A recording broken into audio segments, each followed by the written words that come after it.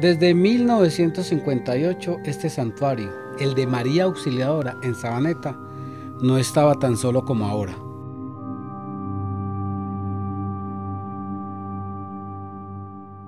Pero es normal, es época de cuarentena.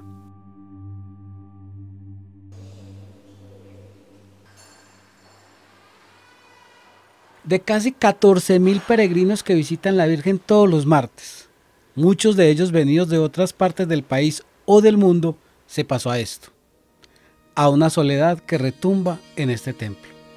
Pocos devotos se arriman, tal vez de uno en uno llegan a las rejas del templo a rezarle a la Virgen. Estos velones blancos, en simulación de los feligreses ausentes, son por ahora los adoradores de María Auxiliadora en este lugar. Es un santuario que tiene una historia no muy larga como los otros de Lourdes o de Fátima, pero que tiene una significación especial. Ha sido un lugar de concurrencia de la gente y en el cual cada martes se tiene la tradición de participar en la celebración. Este doctor de la Iglesia Católica y experto en Mariología dice que la devoción a María Auxiliadora hace parte de la vida de una feligresía acostumbrada a recibir sus favores. Los santuarios tienen una particularidad, son unos centros de atracción en los que se desarrolla no solo el culto a una imagen de Nuestra Señora, sino también una labor pastoral y una actividad social que es muy importante. El cambio es total y evidente. De 15 misas oficiadas los martes, ahora solo hay un rezo silencioso o virtual. La cuarentena le puso pausa a este frenesí.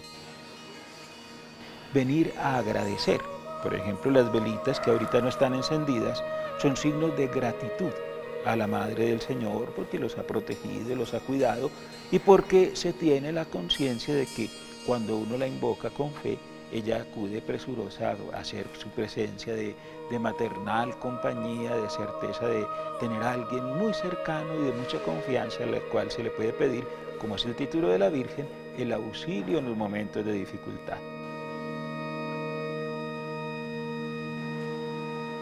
Las oraciones esperan en aquellas almas piadosas que por ahora deben hacer sus ritos en la intimidad de sus hogares. Pero espiritualmente uno puede seguir haciendo sus martes de María Auxiliadora. ¿De qué manera? A la hora en que acostumbraba cada uno venir, dedíquele un momentico a recordar a Nuestra Señora con la certeza de que ella todo el día se estará acordando de todos los que la quieren.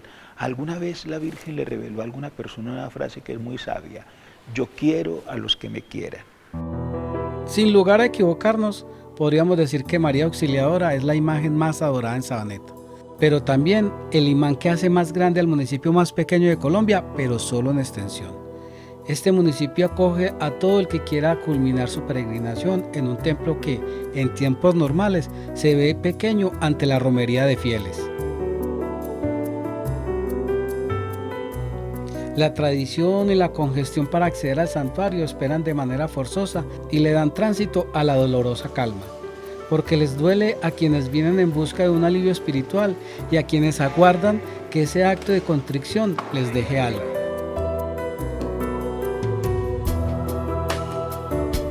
Todos ellos ansían otro milagro, que estas puertas se vuelvan a abrir y permitan el ingreso de los extrañados fieles, convocados ahora por internet, Madre de misericordia, en la vida y en la muerte. Porque en los martes de cuarentena solo se oficia una misa, con el templo vacío, transmitida por las redes sociales de la parroquia. La fe por ahora se apega a la virtualidad. De este momento, consuélalos, fortalécelos y concédeles tu protección. Escúchanos, Señor. Te rogamos también, Señor, por cada uno de nosotros